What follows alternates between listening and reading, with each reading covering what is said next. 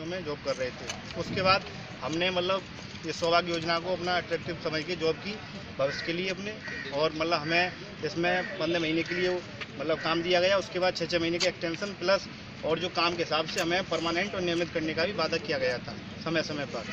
उसके बाद जैसे जैसे काम चलता गया, हमारे मतलब काम अब ये हो गया, कुछ छः महीने बाद टर्मिनेशन लेटर दे दिया गया, हमारे हाथ में सभी जितने ही बंदे हैं यूपी पी के कुछ को अभी दे दिया कुछ ही को मतलब कुछ समय बाद मिल जाएगा। अब सर ये है, हमारी अगर हमें ऐसा पता होता तो हमें जॉब को क्यों ज्वाइन करते, अगर छः महीने का काम है। हम तीन साल या चार साल वहाँ जॉब कर रहे थे परमानेंट कंपनियों में, अच्छी पोजीशन पे थे, वहाँ हम स्टूडेंट क्यों आते थे? उसके बाद हमें छः महीने का टर्म जॉब करने के बाद टर्मिनेशन लेटर दे दिया, क्या इसीलिए हम इसमें ज्वाइन किए थे?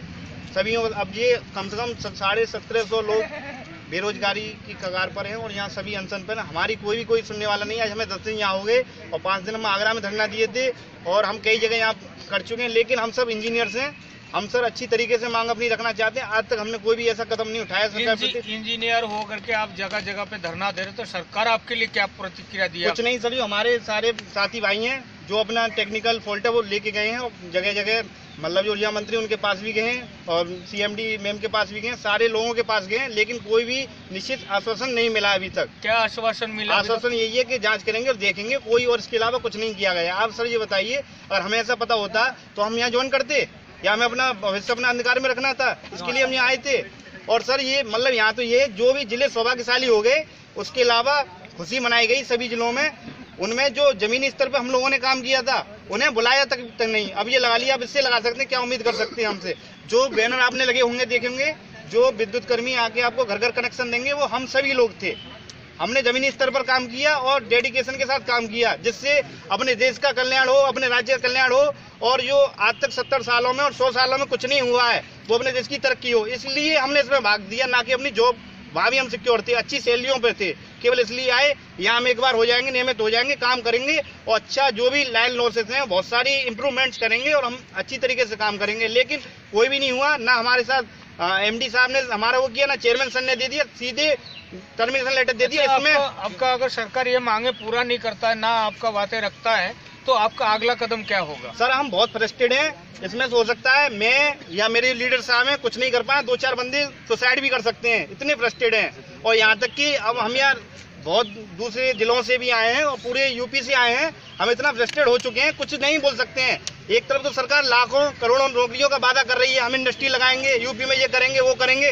कुछ नहीं है और केवल ये अपना पीएफ चलान दिखाने के लिए रिकॉर्ड बनाने के लिए कर रहे हैं और ये निकालने का कोई भी इनके पास वो नहीं एक तरफ़ इन्हें ये भी दिखाना चाहिए कि हम निकाल कितने लोगों को रहे हैं और कितना छलावा कर रहे हैं। छह छह महीने बाद निकाल रहे हैं ये भी दिखाना चाहिए इन्हें।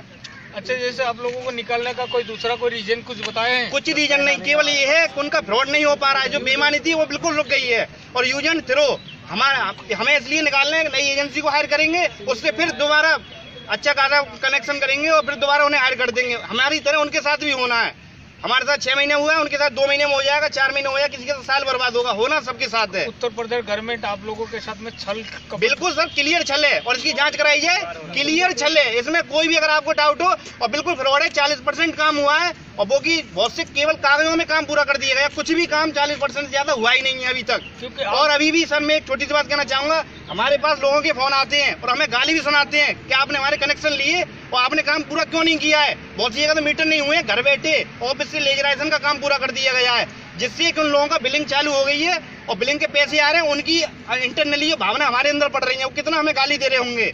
और आज भी और तीन चार दिन पहले ही फ़ोन आया है। यहाँ तक कि मैं यहाँ ज्वाइन था पिछली बार ऐसी साहब थी हाथस के उनको भी मैंने फ़ोन मिला के बोला है कि सर आपने काम क्यों नहीं कराया? जो तीन महीने पहले हमने कनेक्शन दिए थे वहाँ पे कोई काम नहीं हुआ अभी तक। इस तरीके की कंडीशन मिली गई है। वहाँ से लोग गाली देते हैं। अब इसके बारे में सरकार विरोधी कोई कंप्लेन वगैरह की है? आप हमने सारे काम किए हैं जो टेक्निकली होते हैं। उसके बाद ही हमें कोई आश्वासन नहीं दिया है जो माननीय हमारे मंत्री साहब हैं विद्युत मंत्री उन्होंने भी कोई ऐसा ट्विटर पर केवल ट्वीट कर दिया दिखाने के लिए। मीडिया ज़रिया देशवासी को क्या संदेश देना चाहेंगे इस देशवासियों में? संदेश देना चाहता हूँ ये योगी सरकार और मोदी सरकार बिल्कुल छलावा कर रही है। जो मतलब जो जवान जो युवा रोज़गार है उनके साथ और कोई भी इनकी बातों में ना आए। सरासर खिलवाड़ है कोई भी इंडस्ट्री नहीं लगी है ऐसी। यहाँ अपने यूपी में कोई जिससे काम बने। आउटसोर्सिंग के नाम पर